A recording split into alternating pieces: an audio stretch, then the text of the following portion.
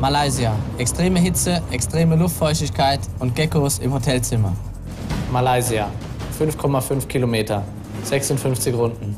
Alles in allem 310 Kilometer. Sechs Geraden, drei langsame Kurven, zwei ideale Überholmöglichkeiten.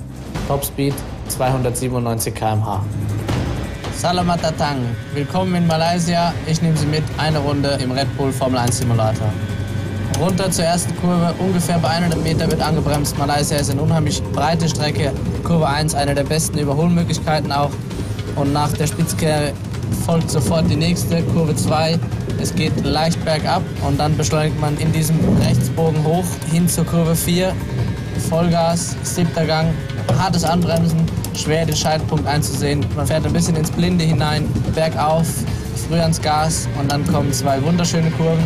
Links, rechts, fünfter Gang, sehr schnell, fast Vollgas, macht unheimlich viel Spaß, es zieht am Nacken und man kommt relativ schnell zur nächsten Kombination. Ein Doppel rechts, die zum Ende hin ein bisschen zumacht, der erste Teil noch relativ schnell und dann weiter abbremsen in den zweiten Teil.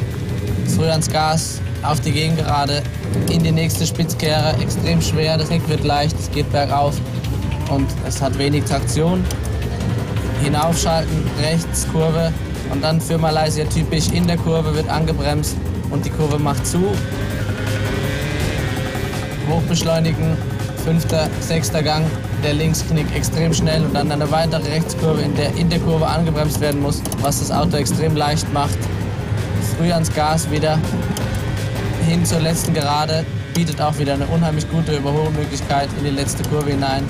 Spitzkehre, hartes Anbremsen, auf das Auto warten in der Mitte der Kurve, warten bis das Auto gedreht hat und dann wieder ans Gas, um den ganzen Speed mitzunehmen auf die Stadt-Zielgeraden. Das war eine Runde in Malaysia.